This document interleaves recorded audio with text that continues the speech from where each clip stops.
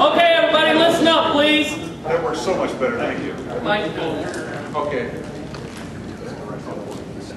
I got several people I'd like to acknowledge before the evening's over, but uh, uh, Mike Nofs is here, and and, uh, he's running for uh, state senate, uh, 19th district.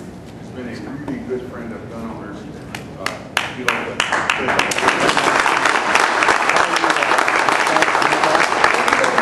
Uh, I just want to tell you a quick story.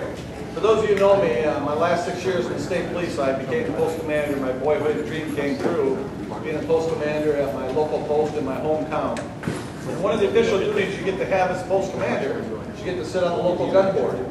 Now, if you remember history, and I know a lot of you have been in front of those gun boards prior to the time I got there as a post commander, uh, the post, previous post commander uh, was always the no vote on the. I walked into the first meeting. You know how you have a little organizational meeting before we actually officially got started, and I said, I just have one thing to say.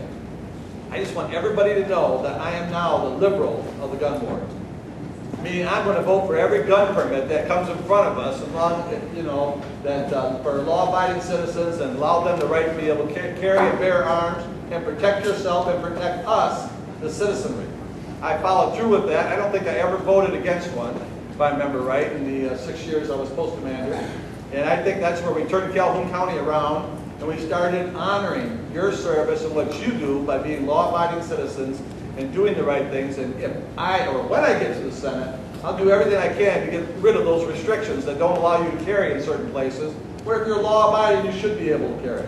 So right. I appreciate that.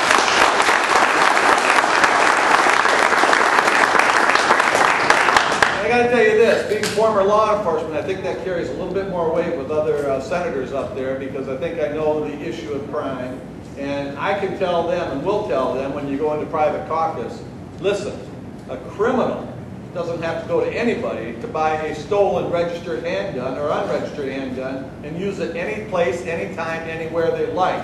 And we need, because we as police officers can't be everywhere, we need people helping us to keep the peace in our communities and keeping our communities safe where we live, work, and play. And that's why I'll support you and do everything I can to make sure your rights are not inhibited and you're able to be able to carry lawfully anywhere you want in the state of Michigan. Thank you very much.